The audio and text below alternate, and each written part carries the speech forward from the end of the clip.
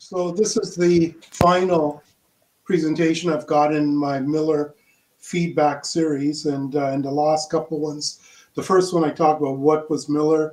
The second one has talked about how to neutralize the Miller effect. And in this one, I dive a little bit deeper into a uh, negative feedback uh, amp, amp, amplifier. Because what I found, there was not a lot of information about how a negative feedback amplifier actually works. How do you calculate the gain?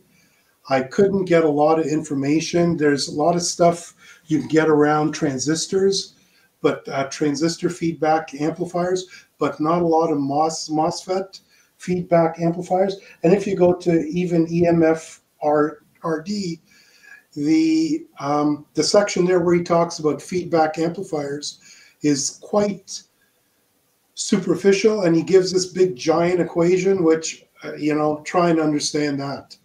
Uh, can't do it. So uh, I come from the school of thought thinking there's got to be a simple way of doing things. So as all as always, just uh, take whatever I say with a grain of salt. You know, I'm no expert on this stuff. I use this. I do these presentations because it forces me to go and learn a subject. I, I knew nothing about Miller effect prior to this. I knew nothing about, you know, negative feedback amp amplifiers. So this kind of forced me to go and learn a little something about it. But so it's not really a tutorial. I'm not an expert. I'm not an engineer here. It's just uh, it's just what I learned. So right or wrong. And uh, here's some references I used. I show this with every slide, every presentation.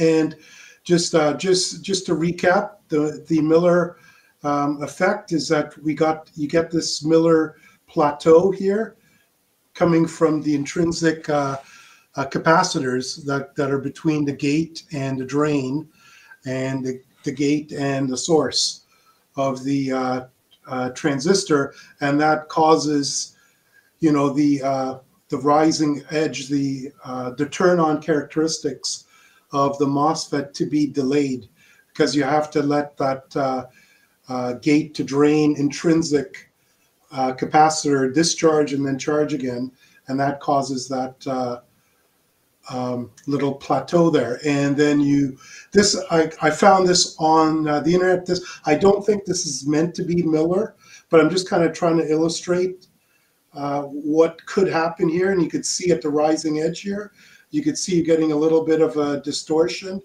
there, and this could be, be because of Miller. And uh, now, if you were to look at this, put this through a spectrum analyzer, that notch there would generate all kinds of nasty higher, higher frequency uh, components. So in the last presentation, I gave you some various uh, options in terms of how to neutralize the uh, Miller effect. Today, I'm gonna, uh, I did talk about the cascode uh, amplifiers and I did talk about negative feedback in the last presentation. So here I'm gonna dive a little bit deeper into the uh, negative feedback amp. So I'm going to provide you with three models where you could uh, analyze a negative feedback amp. The first one is my simplified model. And uh, second one and third one, I'm just going to briefly talk about. I'm not going to go into detail about it. Is that if you go to a lot of the university texts and university courses, they talk about a feedback amplifier, and I'll just talk a little bit about about that.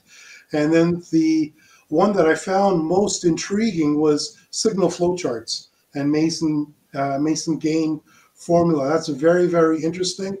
I did not go into it, but I'm just going to just introduce it and spend like a minute talking about it.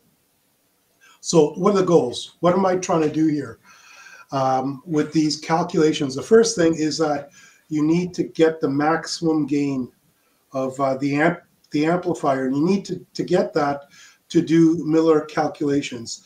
And that's really called the mid-band analysis. So if you were to plot the gain and frequency of an amplifier, you'd get something like this, where you've got a uh, high-pass filter and a low-pass filter here. The high-pass nature of the amplifier comes from a lot from the um, the DC blocking caps that does a lot of the low end uh, cutoff. But you get a sweet spot here in the middle. That's called a mid band, and that's where you get the maximum gain. And then you get the roll off here, and uh, that's um, for the amplifiers. Uh, uh, you know, we work work with that'll be typically because of the Miller effect. Now it could be because of transformers, just design, tank circuits, all that kind of stuff. But what I'm looking at is just uh, the effect of Miller on on that. So next thing is where's the cutoff point? And when I say the cutoff point, I'm not really interested in the low frequency corner here, the low frequency cutoff point. I want to know what the high frequency cutoff point here, the uh, minus 3D point, 3 dB point here. So I'll show how that calculation is done. And then finally, it's uh, how do we know? Okay, so we built this amplifier. We said, okay, I need to know the gain at say 20 megahertz. I'm going to run a 20 megahertz signal through this amp amplifier. What gain can I expect? So I've got a, a, very rough way of calculating what that uh, uh, gain will be. So, so let's first of all start looking at the midband um, analysis. That's the maximum um, the maximum gain that amplifier will have, and it's typically at low frequencies. So I, you know, this this this whole process has been very painful for me because I run across all kinds of problems. And uh, are you guys still there? You can hear me okay? Yeah, yeah. Okay, so you know, I started out doing calculations and LT Spice simulations, and I built an amplifier, and I fed in 400, you know, millivolts peak, and I, you know, I was trying to analyze what was going on, and I was looking at the the, the calculations, and it just wasn't working. And I started to scratch my head, and I literally spent weeks trying to figure out what was wrong.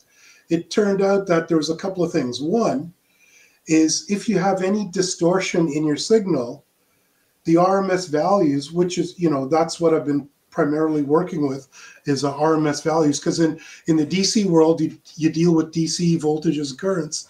In the AC world you work with uh, uh, RMS uh, values. So if it's distorted, you get a flat topping that skews the RMS value, and then all of a sudden your calculations won't won't make sense. Then next thing is, you know, is that you know you got to be careful that if you have a DC offset, you know that's going to change your RMS uh, values, and I'm sure Michael you know, has uh, painful memories of uh, one weekend at Eric's cottage when we, you know, we sat down. We were trying to figure out what the RMS value of a square Sure wave is. Sure do. yeah. So, you know, this came back, Michael. This came back and bit me here again. So, you know, and uh, the the final thing was that you know, yeah, it's all fine and good to use RMS currents, provided everything is in phase. Once things are out of phase, you can't really use RMS because RMS is a scalar. It's not giving you the phase of of uh, the signal because the uh, two RMS values could add or uh, could cancel each other out if they're 180 degrees out of phase. So Dave, did you- that's another. Did you go back to uh, not not sharing? Not what? Not sharing. You still sharing? Yeah. Yes. Yeah, we Oh, see it. something wrong here. I'll Yeah, we're- sign out and come back in. Okay. Okay. So just to illustrate to you the pain I went through, these are all the calculations. I went and I tried calculating things, didn't work, and I'd go back. And this this notebook is completely full of just sample calculations, trying different things, trying to figure out how all this stuff works. And it took me a long, long time to figure this this stuff out. And one of the outcomes, and one of the things later on, and uh, this is going to be something I, I, I'm going to keep referring back to, is how do we make RF measurements? And you know, I got bitten with this big time later on. You'll you'll you'll see why I got bitten.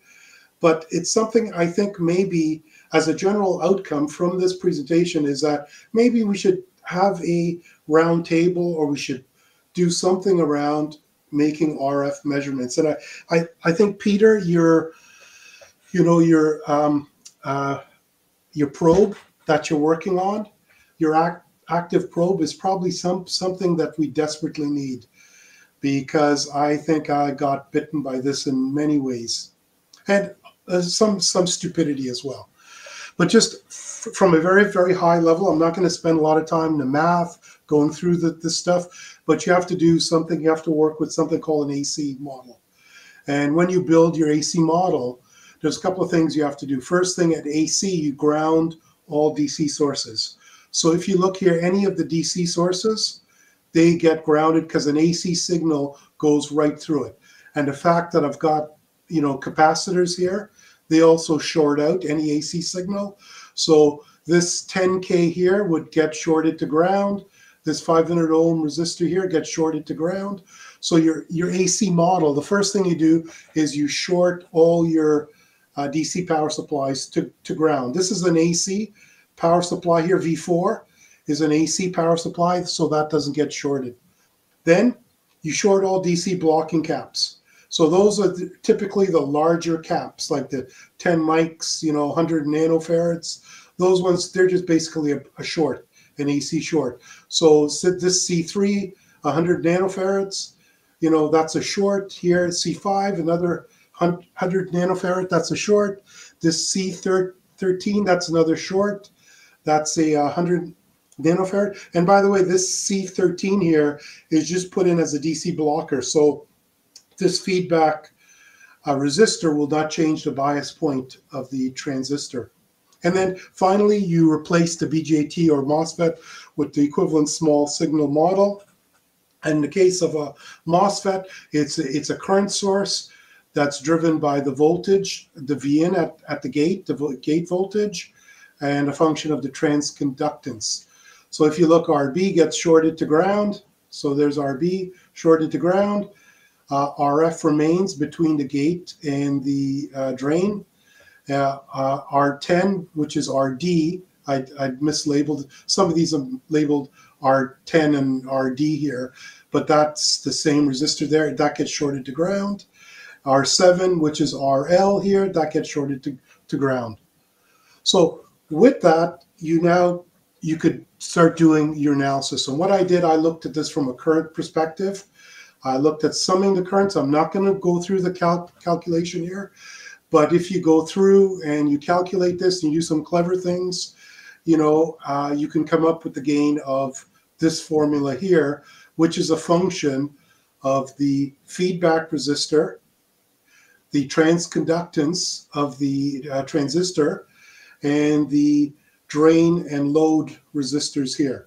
So that what that's what drives the gate. Now, this equation is only valid for this type of amplifier here. So if you try and apply this to a like a, a BJT amp, amplifier that doesn't have feedback, it's not going to work. Okay, so how does this, this compare? So what I did as a first step, I took this model, ran it through LT Spice, and I generated a spreadsheet with all the calculations of all the various nodes and currents, and I put down all the currents here, and I use this to kind of uh, work out whether the math was working. And so the way this is, you've got different columns. Each column is for a different value of the feedback resistor. So this column here is for an RF of 100 ohms, this column 200 ohms, uh, 500 ohms RF, so we're talking about R2. The feedback of R2 here it is for 750. So, so here I blew up the uh, calculation, the, the comparison between the calculated gain and what LT Spice spits out. And so here's the, the comparison at 100 ohms feedback resistor. Here it is at 200, blah, blah, blah. Here it is at uh, 2000. So if you look, uh, one's negative, one's positive, ignore that. LT Spice is giving me a absolute value of gain. It's an inverting amplifier. It's supposed to be negative. So just ignore the sign. But if you take a look, it, it uh, tracks pretty well. You know, so it's, I think it's good enough. The, the calculation, this equation seems to work with LT Spice quite well. So if you look at calculating the input impedance, there are two ways of doing it. The first way is that you keep the R, the, this bias resistor, RB is the bias resistor. And so same thing, you do, you sum the currents and you do some clever math and you come up with this equation here. And Zin is a function of the RB, the bias resistor, the feedback resistor, and this R naught, which is just a parallel combination of these two resistors. I was too lazy to write them out, so R naught is just uh, RD in parallel with RL. So now if we look at the second way of doing it, so in the case of Rn or, or Zn, typically it's much smaller than this uh, 10K resistor. So in, in all intents and purposes, we could remove it and we could calculate Zn without that resistor there. So if, if we do that calculation, we come up with this formula here, which is just a function of your feedback resistor RF and R naught and the transconductance uh, of the amplifier. And once again, R naught is just a parallel combination of RD and RL. So how does that compare now to LT Spice? And once again, same thing. This is just all the calculations for each of the different feedback resistance R2 here.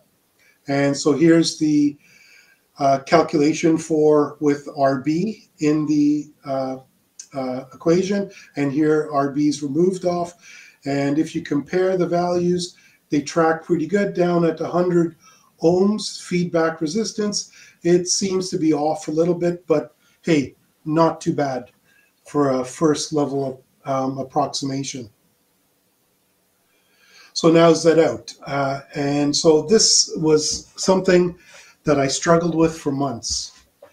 You know, how to calculate Z out. If you look at the textbooks and the, you know, the uh, uh, university training courses and all the college courses, everything online, they say you basically to calculate your Z out. So this is the output impedance here is you need to short the input of uh, the amplifier. So you short it. So in that case, you short the amplifier. When you short the amplifier, this RB goes away.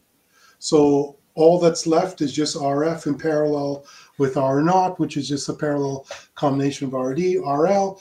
So this is your equation. It's R um, for the output impedance, RF in parallel with RD and RL. So how does that compare with LT Spice? Hey, it comes out almost bang on, like to one decimal place. It's like bang on. So not too bad.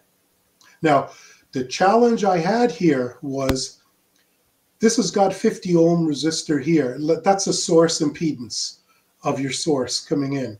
Now, in my mind, if you're looking at the output impedance, okay, you want to include this 50 ohms. You don't short it here.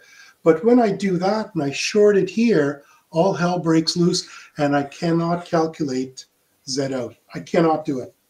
If I use it with LT Spice, and you'll see, uh, no, no, it's not here, but I'll have in some of my calculations, I'll have uh, LT Spice R out with RS in 50 ohms in place or with it uh, shorted out. And I, I couldn't make that work. I couldn't get that to work, and I just gave up. So uh, let's look at the feedback amplifier. So that, that was my simplified model of how I just derived equations, and I call that my simplified model. Let's look at what the textbooks and the training courses tell you what what to, to do. I call this the egghead model. Sorry to the engineers that are on the call. But so basically, the way that this is supposed to work is that you have your amplifier and you're taking some of the output and you're feeding it back to the input of the amplifier. And this is only appropriate for negative feedback amplifiers. So here at the front, you're sampling, you're taking either current or you're taking voltage. You're taking a sample of the voltage or you're taking a sample of the current and you're feeding a proportional, uh, um, a portion of that back to the uh, system here, which is a mixer, and you're either going to be adding a voltage or you're going to be adding current. And so they have different types of amplifier topologies. There's a voltage series, voltage shunt, voltage series, blah, blah, blah. In terms of the amplifier I've been looking at, it's called a voltage shunt. And if you look at what the feedback, this feedback amplifier analysis looks, this is how it should behave, which is in fact the way that it is uh, behaving. So according to the equations, this is how you would calculate the closed loop gain. Now, there's closed, the open loop gain gain is where you don't have feedback. That's called open loop. There's no there's no closed loop. The closed loop gain is where you have a closed loop going back around. So the closed loop gain is with the feedback going back. It's saying you take your your uh, open loop gain A, so no feedback, the maximum, the mid width, mid band gain A, right? And you divide that by one plus the gain times this beta, which is the proportional feedback you're putting back. And so your gain will be decreased, your input resistance will be decreased, and the output resistance will be uh, de- decreased as well. Uh, it doesn't work quite as simple as that because these amplifiers to do the analysis you got to you got to convert them to a trans resistance amplifier and all of a sudden when you're dealing with a trans resistance amplifier the gain is a resistance you're looking at the gain is the voltage being fed in at the uh, uh, uh, input of the amplifier and the current that's coming out at uh, of uh, the output and so the voltage divided by current, which is a resistance, that is called your gain. And so when they're talking about open loop, closed loop gain, they're talking about that. I could not get this to work with that amplifier because most of the examples they have are for BJTs. And uh, I couldn't find any amplifiers for a MOSFET with feedback amplifier like the one I had. I just could not make this work. Finally, I just had to give up and move on. This was very, very, very interesting.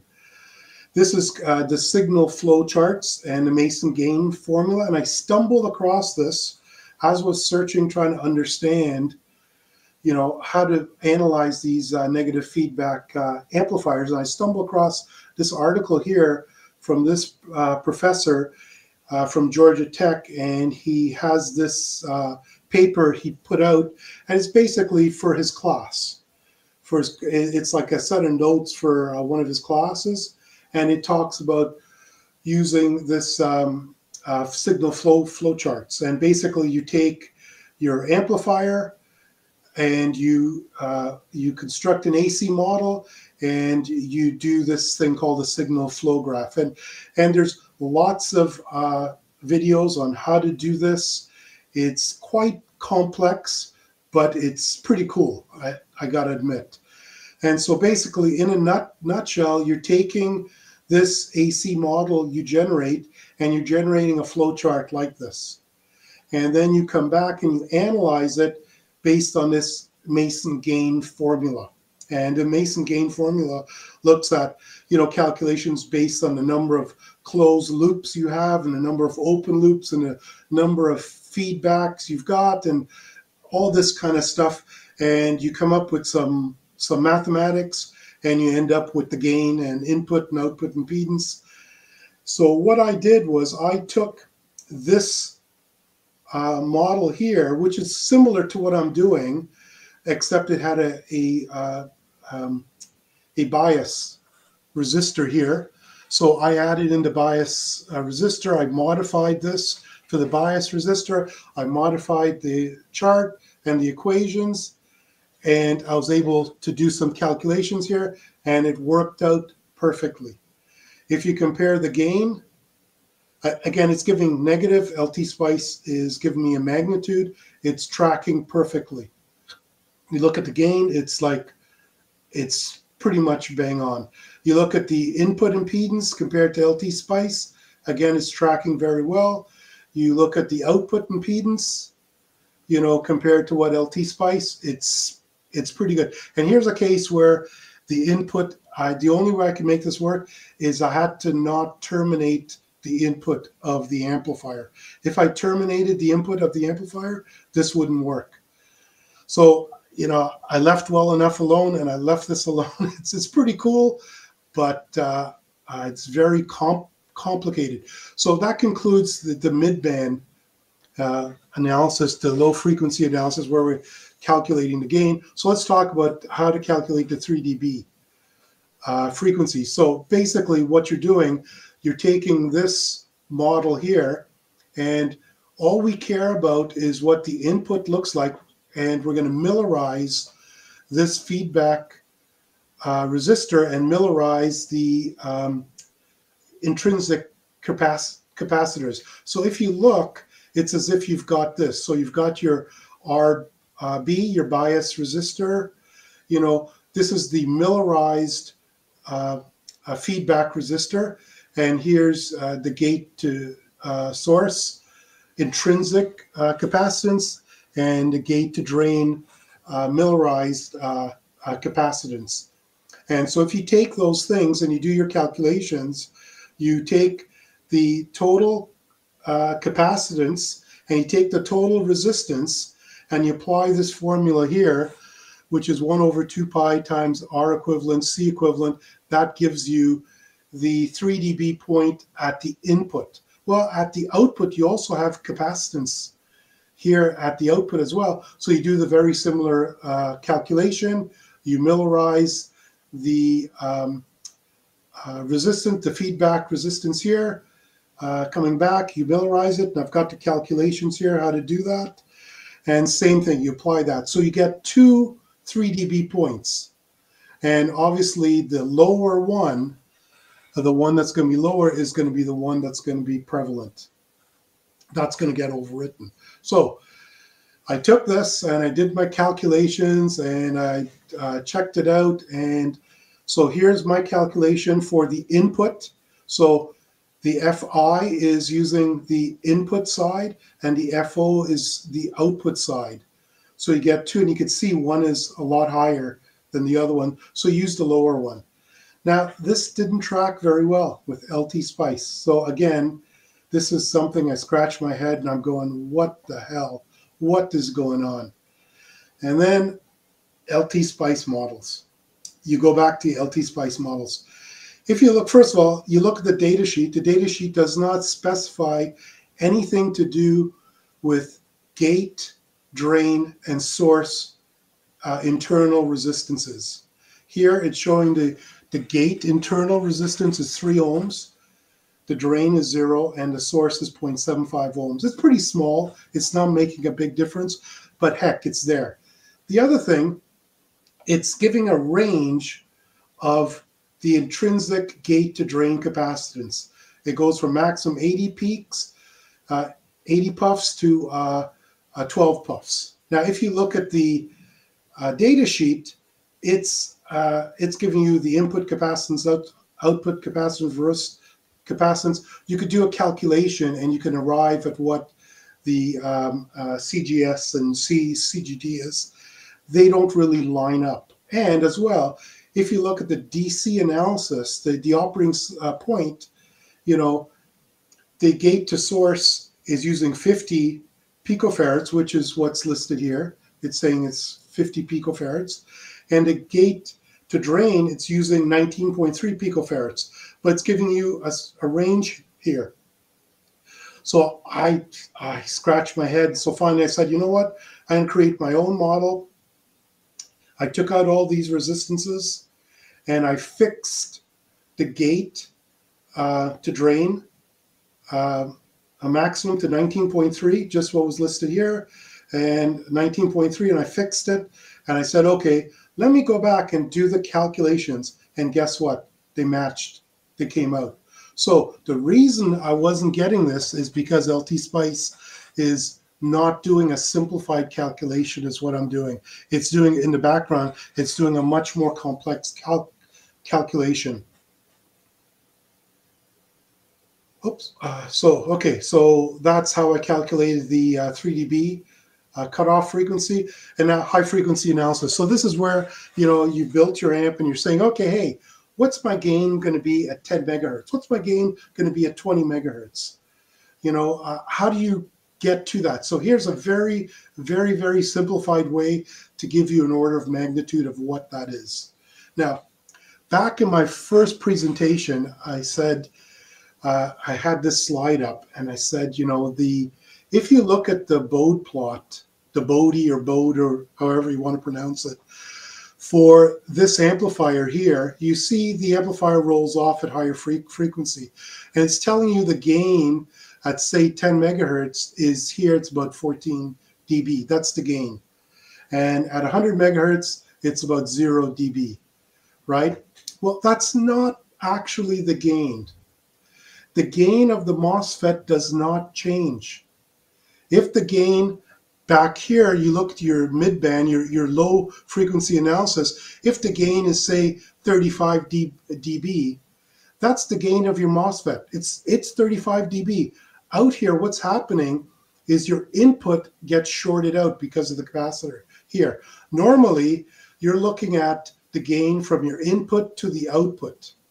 If I was to look at the gain from the gate to my output, the gain would be flat it would not change.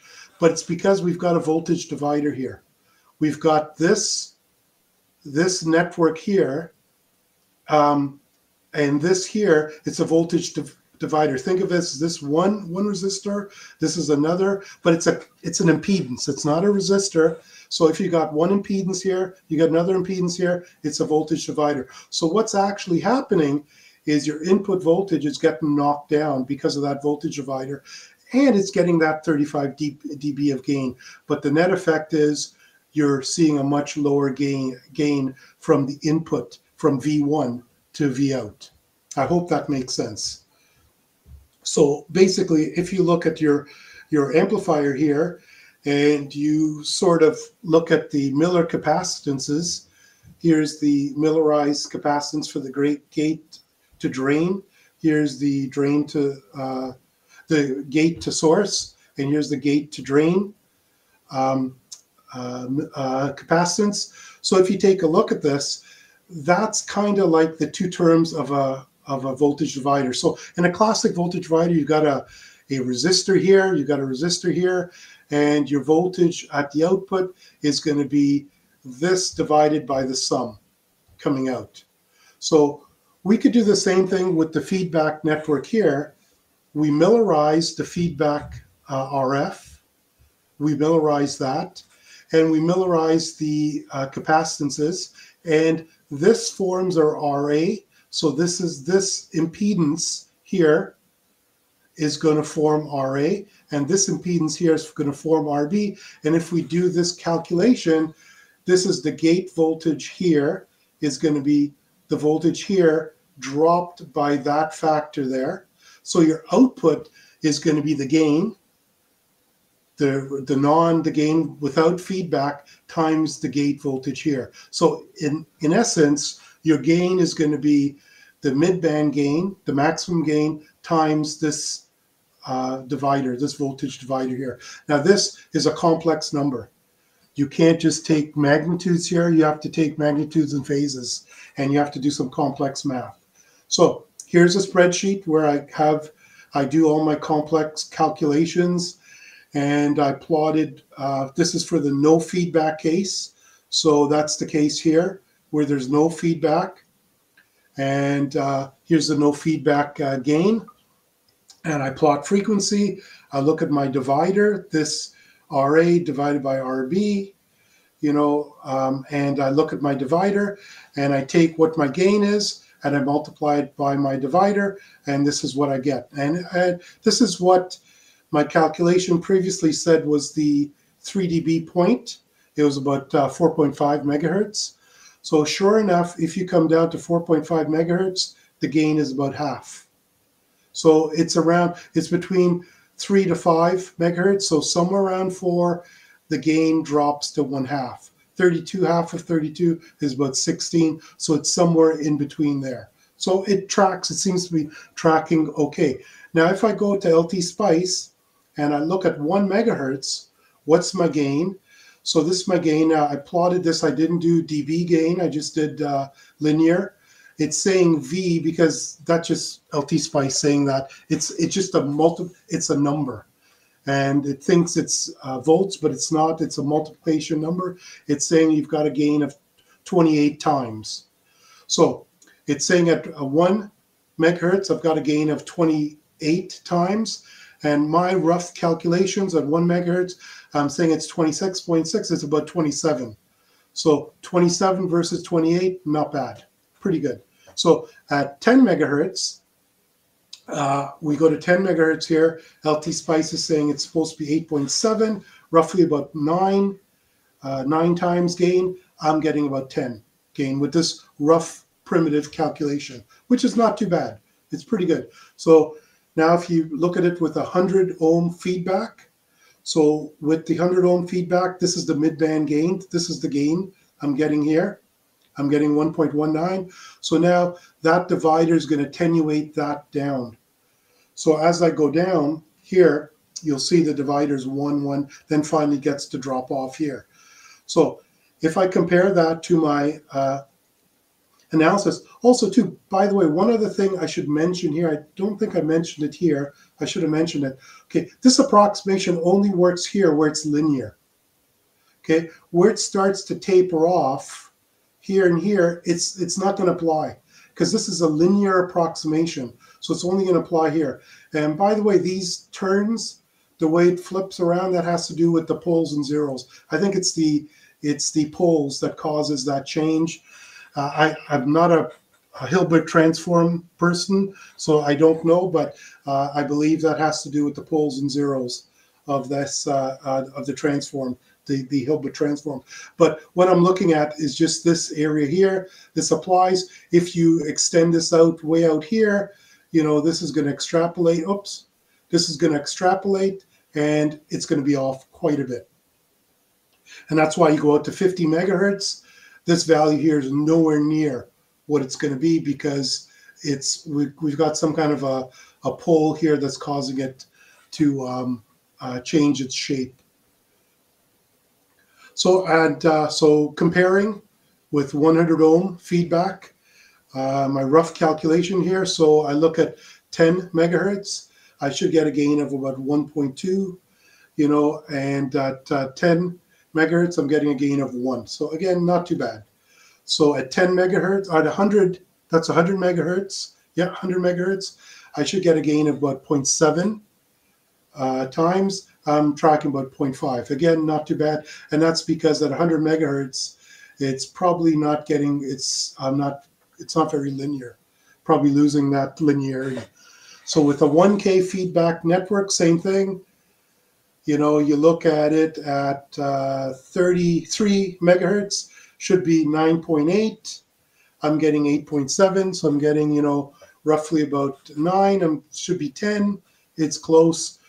You know, uh, you look at the uh, the uh, 3 dB frequency. Again, half of the uh, gain here should be five. It's around in here, and it should be between 10 to 20 megahertz, which is uh, the calculation I did says it should be about 19 megahertz. So it's in there, so it's tracking not too bad. Uh, if we look at uh, 2930 megahertz, you know, uh, my rough crude calculation says it should be 3.9. I'm getting 3.6, 3.7. Not too bad. So that's a good way of just getting what it should be. Now, now I'm going to get into my world of hurt. So I'm going to look at some real world uh, comparisons. Can you guys still hear me okay? Yeah, no problem. Yeah, yeah. Okay, so the first thing I did was I built a, a uh, amplifier capable where I could change out resistors and change out things. And I used my scope initially to make measurements. And then I went back and I thought, let me try and use my, my uh, SA. And I used it and I got into a world of hurt doing that, and I'll share with you my world of hurt. So what I wanted to do was compare, calculate what RN, R out gain, and 3 dB cutoff frequencies were, and compare it to what I measured. So here's the board. I, I made, there's my socket where I would plug in different MOSFETs. Here's the socket where I would plug in, you know, various uh, feedback uh, resistors, and I could put in different source resistors here. Here it's shorted out, and uh, my output here. So this is the input from a signal uh, generator. This is the output coming out. It's going to this board, which is basically have a load resistor going from uh, um, from the signal to the ground. And then I've got a point here where I can attach my scope and I can measure the signal at the top of this uh, uh, load resistor here. So, okay, this is my, this is the start of my world of hurt. So I don't have a choice. I have to use my scope to measure uh, the input signal, output signal to calculate load. Um, I, I, don't know how to do that with a spectrum analyzer, how you could calculate your load, maybe look at some kind of 3 dB point, you know, but I use my scope to get the input and output uh, uh, impedances of the uh, amplifier. So to get the 3 dB frequencies, I initially used a scope and then I went back and I used the SA. And I think I was really sloppy using the spectrum analyzer and I just got totally different values using the spectrum analyzer. So here are some observations here, and I'm gonna, uh, next slide, I'll show you how stupid I am. But anyway, so I compared the measurements of 3 dB frequencies with my scope and SA, and they were off quite a bit, times, two times. And that should give you, that should trigger something, two times. V squared root two squared is two times. So anyway, but that should have been a trigger in my mind. So anyway, you know, I was getting quite a big difference between the SA and what I was measuring the 3 dB frequencies with the um, uh, spectrum analyzer and scope.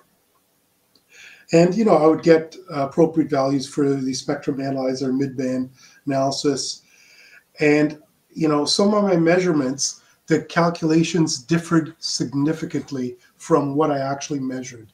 And this is why I'm coming back and I'm saying, you know, we we should have some kind of a roundtable where, where where we talk about how to make RF measurements because I got bitten by this big time.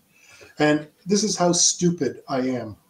Okay, this is I'm not a very bright person.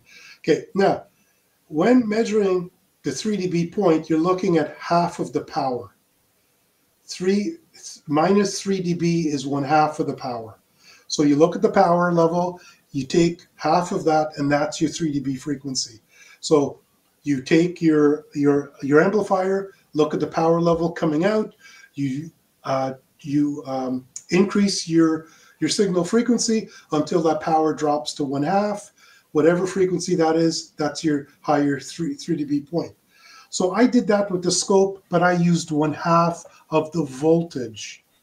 Okay, now if you can't do that, you have to use root 2. It's 1 over root 2 of the maximum output voltage. So it's 0.707. It's not 0.5 of the maximum output voltage. It's 0.707. And that corresponds to the half power point. So I only realized this today, believe it or not.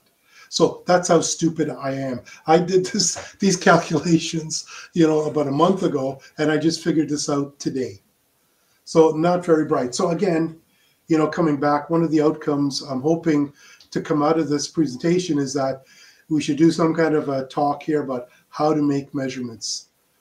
Um, so I'm going to show you my data here. Um, so what I basically did, I took two transistors, 2N7000 BS 170. I calculated the gain based on my calculations, what LT Spice and what I measured. Same thing for the 3 dB frequency, R in, R out. And what I quickly found out, the BS 170 measurements, they were completely out, out to lunch. LT Spice, my calculations and what I measured, completely out to lunch. And I had to take a step back and think about this because my BS 170s, they were all transistors from China. Okay. And I have no idea whether they're close to the parameters on the data sheet and whether the LT Spice model uh, corresponded to it. So I went and I looked at the LT Spice model for the BS170 and take a look at this. So RG is the gate intrinsic resistance of this MOSFET. So according to this model here, it's telling me it's 270 ohms. 270 ohms. I look at all the other MOSFETs in the library and they're all 1 to 3 to 0.5 ohms. If you look at the, the source in, intrinsic resistance here, it's 1.5, drain is 1.4. This is 270 ohms. That's an error. That's a problem. So then if you take a look at the, the gate to, uh, to drain maximum uh, capacitance, you know, it's saying it goes from 3 picofarads to, to 20 picofarads. So if I go to the data sheet and I take my input output reverse capacitance and I convert those into uh, gate uh, to drain, gate to source, drain to source, you know, my CGD should be from 7 to 10 picofarads, not 3 to 20 picofarads. So it's this is completely completely off off base. So I had to go back to my transistor tracer. I I pulled it out and I started looking at traces, calculating GM and calculating some things. And my transistor tracer was showing me values that were completely different from this. So finally, I just said, look, I'm not going to analyze the BS170. I just threw it aside. So this is how I only have a couple of slides left here. So this is my, my comparison. Instead of showing you numbers, I thought I would plot it. So what this is showing you, this is showing you for each of different feedback values. So this is the um, amplifier with no feedback with a 2.2K feedback resistor, a 1K feedback resistor, and a 200 ohm feedback resistor. Now the the blue trace is the calculated gain. That's the gain I calculated for my simplified model. The orange is what LT Spice shows. And uh, here it's that we're, we're looking at about 10 kilohertz. And then the, because this is mid-band gain, right? And the measured gain. So I took the amplifier and I measured the gain. Now, so I did this, there's three data points here. So right here showing you the data points for a 10K load. So the amplifier is loaded 10K. Uh, here, the amplifier, these data points, there's a, a, set of data points here for a 1K load. And then the third set of data points is for a 200 ohm load. And I just, I plotted straight lines between them just to show the trend. Now, you can't see the blue line here because it's superimposed. The LT Spice and my calculated gain are identical, well, or close. They're extremely close. So if you look at the model, you could see a little bit of discrepancy between what LT Spice predicts and what I actually measured. Okay, and again, here it is. You're seeing a little bit here. It's more significant with with no feedback and a large load. And uh, uh, here it is with 1K again, little little bit of discrepancy, but it's not too bad you know it's off but it's you know it's a it's it's within the ball ballpark so to me i think this is good enough but you know it illustrates the point did i make these measurements properly so here it is with the zin so uh, i'm comparing you know the input impedance with no feedback 2.2 blah blah same thing same exact thing here you could see a much greater discrepancy between what I measured and what I calculated, both LT Spice and uh, what I with my simplified calculations. But you could see they track pretty good. You know, in the case with a, with a lower, uh, with some level of feedback, you're it seems to be tracking okay. So it's not too bad. So here, there's probably something wrong. Maybe it's my calculate. Maybe it's my measurement uh, I didn't measure it properly, and that's why I'm getting these values off. But everywhere else, it seems to be tracking pretty good. So here it is for the output impedance. Again, not tracking well here. Seems to be tracking okay. So again, could be my my measurement. But it's not too bad. It's given me a good order of magnitude. You know, it's certainly not telling me it's kilo ohms versus hundreds ohms. It's telling me it's 100 ohms or it's, you know, 50-ish ohms, less than less than 100 ohms or, you know, between 100 to 200 ohms kind of thing, which is not too bad. Now, this is where it all craps down, craps out. My 3dB calculations are, there's like huge discrepancies here. If you look at with uh, 200 ohm feedback, huge, like 100 megahertz is what I measured. And uh, the only reason why this thing tops out here is my um, signal uh, generator, the maximum output is 100 megahertz. So I couldn't go higher. And so it flat topped here. So it's something greater than 100 megahertz, but the calculation saying it should be 40 or 20 ish megahertz, you know, 30 ish megahertz here. And it's telling me uh, when I measure it, it should be 100 megahertz. Now, part of this could be that half power versus voltage problem, right? That I ran in, into. That could be part of this problem here. But again, it's coming back, you know, to this how to make RF measurements. And I, I'm hoping that this would uh, motivate us to have some kind of a roundtable to talk about measurements. So here, uh, I'm not going to go through this. It's just equation summary of uh, the equations I used. Here's the equations for three 3dB points, you know. And again, you take this as a ball ballpark here. And I think to get a much more better refined numbers for some of these things, I think we need, uh, I need to go and learn a little bit more. There's some more learning to be done here. But right now, it's not too bad. Um, you know, as a first order approximation, it's not too bad.